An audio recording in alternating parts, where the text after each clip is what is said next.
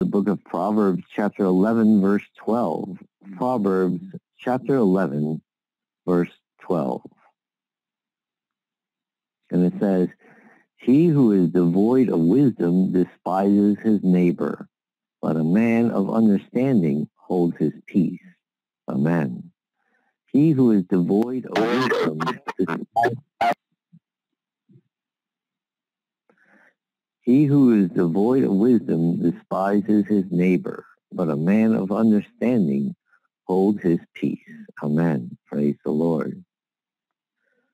Short verse full of wisdom and revelation here.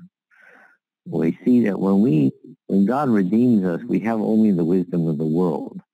And the wisdom of the world and the law says things like, uh, you know, hate your enemies and so forth. Uh, but when we have God's wisdom, all of a sudden we have understanding and we hold our peace. Why? Why do we hold our peace?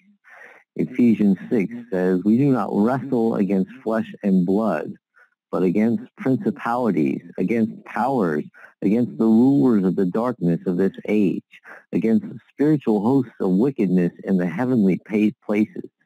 You see, we don't wrestle, we don't war against man. Man it's either going to serve one or the other.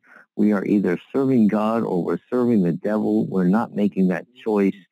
Uh, like if we are not following God, we are serving the devil. The enemy, spiritual forces can cause people to do things that they would not normally do on their own uh, because we're, we're, we cannot overpower these spirits. The only way we can overpower spirits is to put on the full armor of God, which is to have faith in the Lord, to have his word, uh, to, to be in Christ is where we are protected. Otherwise, we are open to being used by the enemy, and that's why there is all this strife. That's why there are criminals. That's why are there all these things.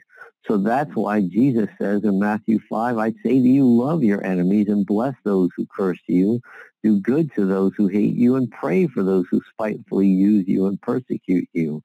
Once we understand it's not them, it's what's controlling them, we pray for them and God moves in their lives and God delivers them and they now are led by the Spirit of God and the kingdom of heaven is manifested on the earth. We also once walked in darkness and we did not understand. And we, uh, even when we thought we were doing right, we could be harming people. But when we surrender to Jesus Christ and he gives us his Holy Spirit, then we understand that we are delivered. And so we can actually pray for those who, uh, who, who uh, may even persecute us and, and harm us. We can pray like those who are in prison, persecuted for their faith. They pray for their captors instead of fighting against them. And it changes their lives. And that is what God wants for us while we're still here on this earth. Lord, we thank you that we are, this word is just very powerful, Lord.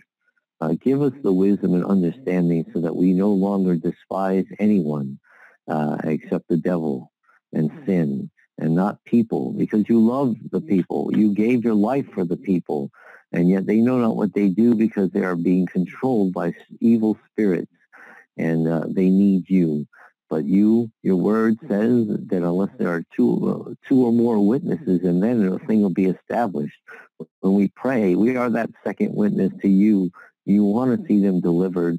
When we come in agreement, you move in their lives and they are set free, and they too will be seeking your face.